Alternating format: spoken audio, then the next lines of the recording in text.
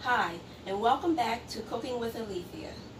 Today, we will be making broccoli slaw, homemade sweet potato fries, and turkey burger sliders.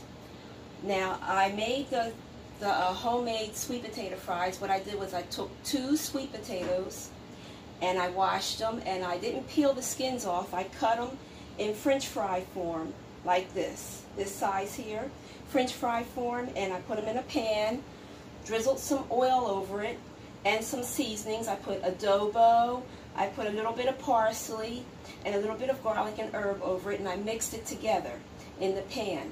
And now I'm going to put it in the oven so it can bake. This is a healthier version of sweet potato fries. Next I'm going to be making the broccoli slaw.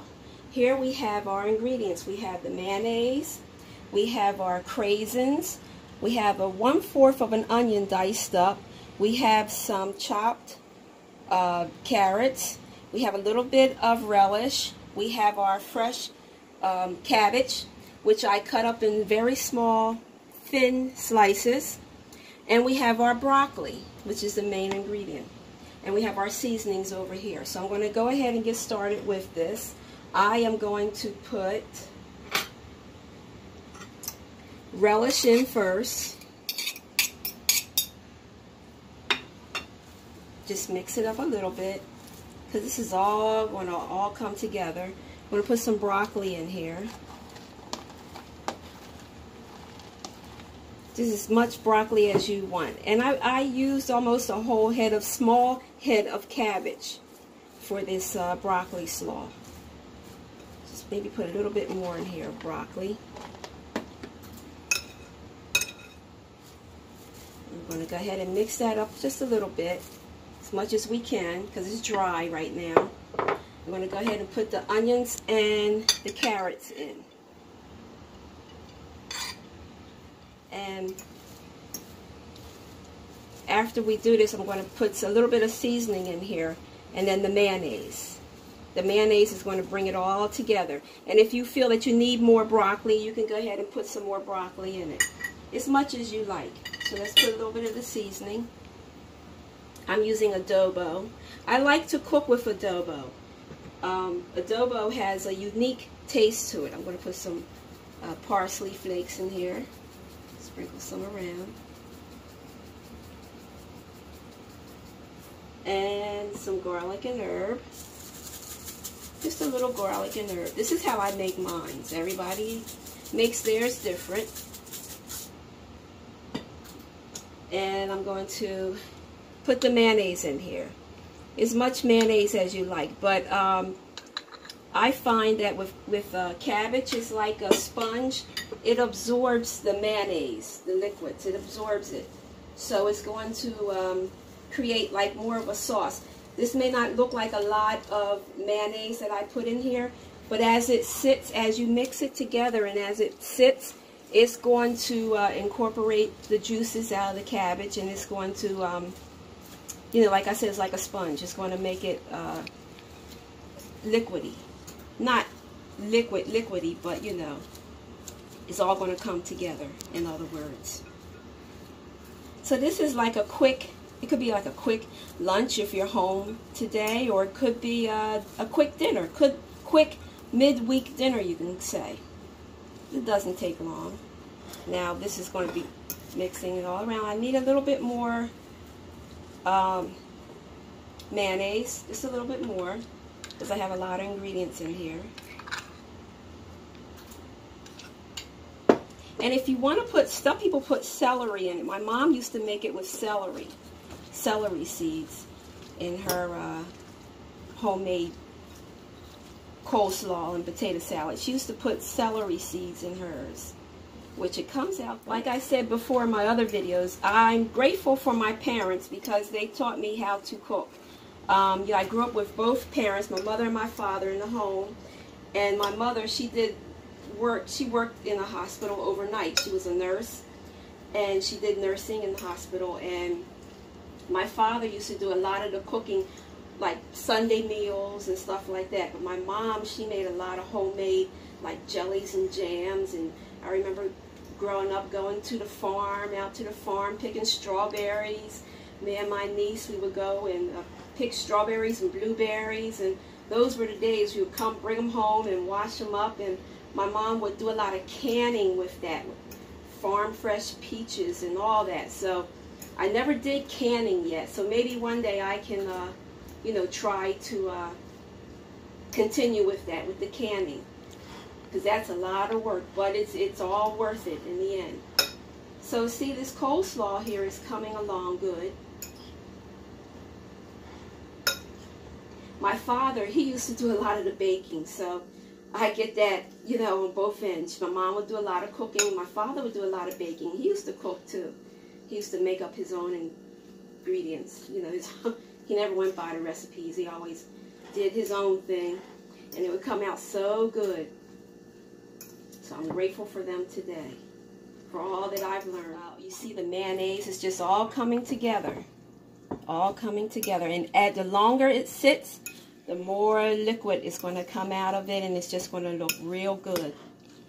So I am going to put just a little bit more adobo and just a little bit more parsley flakes here.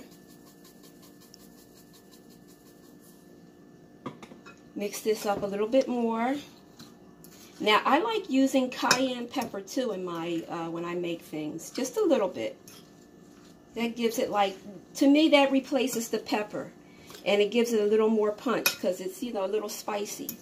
But I don't use a lot. I just use a little bit, like a little dash. It's like, hmm, what is that in there? It's cayenne pepper.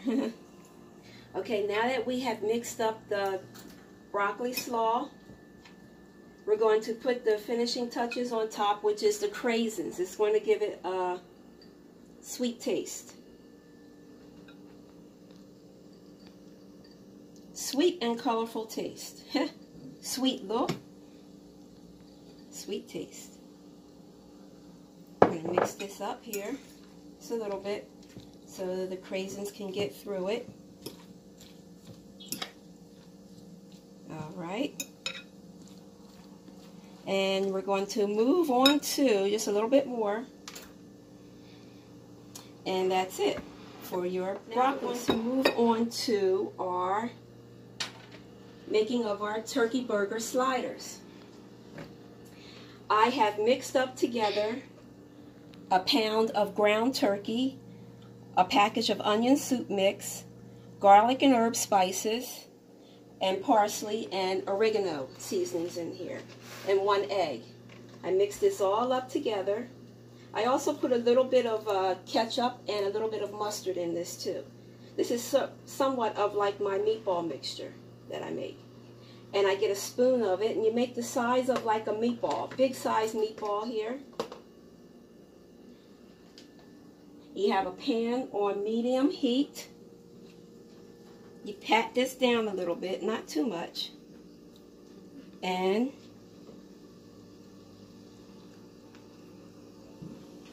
you let it do its due. Okay, now I've made all the turkey burger sliders on the pan, the grill pan here, and they're ready to turn over. So we're going to start turning them over because they're little guys. They don't take too long to cook.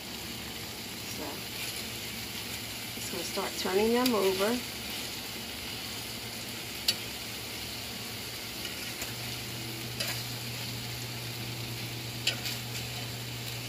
And once they get done, we're going to start assembling them.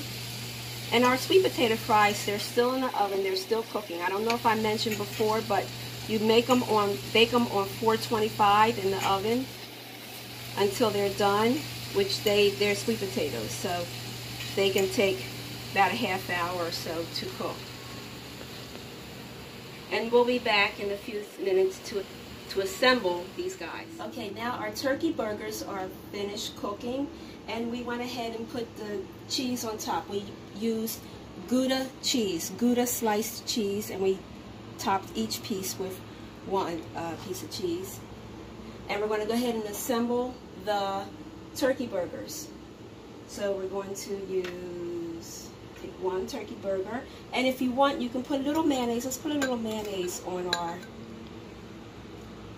rolls here. Just a little bit. You can use ketchup too, mustard, whatever you like. Take one turkey burger. Put here. And we're going to take, we have, for our toppings, we have lettuce, tomato, avocado, sliced avocado, and sliced onion. We're going to take a piece of lettuce, put on top.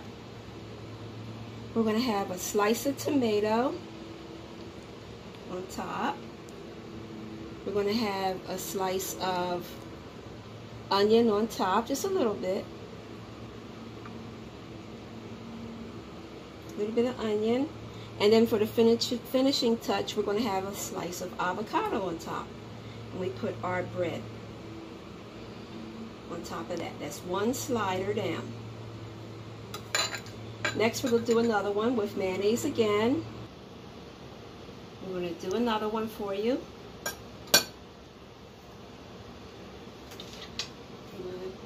Burger here on the bun. We're going to put a piece of lettuce. Lettuce is bigger than the bun. A slice of tomato. A slice of onion, and avocado on top.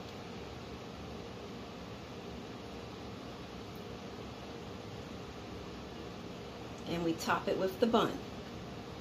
Now you can do some without the avocado and some without the lettuce and tomato and onion, whatever you like. So we'll go ahead and we'll do some here with just the burger, the cheese, and the bread. We'll do a couple of those, burger, cheese, and bread. Some people don't like all that extra fanciness on theirs. Okay. And we'll be back to show the final presentation of everything. And we're back. And here we have the final presentation of our midweek lunch, which is the turkey burger sliders, the homemade sweet potato fries baked in the oven, and our homemade version of broccoli slaw. And if you like this video, please give it a thumbs up and also subscribe to this channel. And as I always said before, we will be having more delicious recipes to come as the season goes on. And I will see you next time on Cooking with Alethia. Bye-bye.